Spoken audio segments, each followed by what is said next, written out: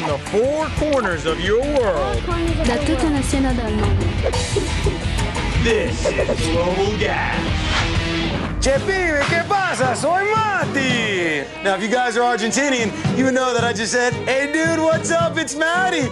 This is Global Gas, ultimate games and sports from around the world. And I know that you guys have probably played some basketball, did a little horseback riding like I'm doing right now. But have you ever done both at the same time? Well, a bunch of Argentinians have. It's their national sport. It's called pato. That's Spanish for duck. It's coming up right now. You guys have got to check this out. Now, in case you fell asleep during geography class, Argentina is the second largest country in South America. But Pato's also become so popular that it's also played in Italy, France, Belgium, England, Germany, and Austria.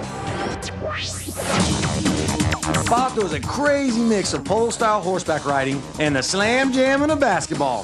So four riders compete in a field 200 yards long.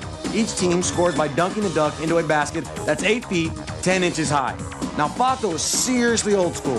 Historians say it was created in the 1600s. And check this out, guys. Back then, a real duck was used as a ball. But don't worry, real ducks aren't used anymore. Now, during the game, the riders swing from their saddle at full gallop. They pick up the ball from the ground with their right hand and race toward the basket. And the team who scores the most points is the winner. Well, there you have it, guys. Little pato action for you. Like you just saw, those guys are in top physical shape. I got to give it up for them. They got muchos guts.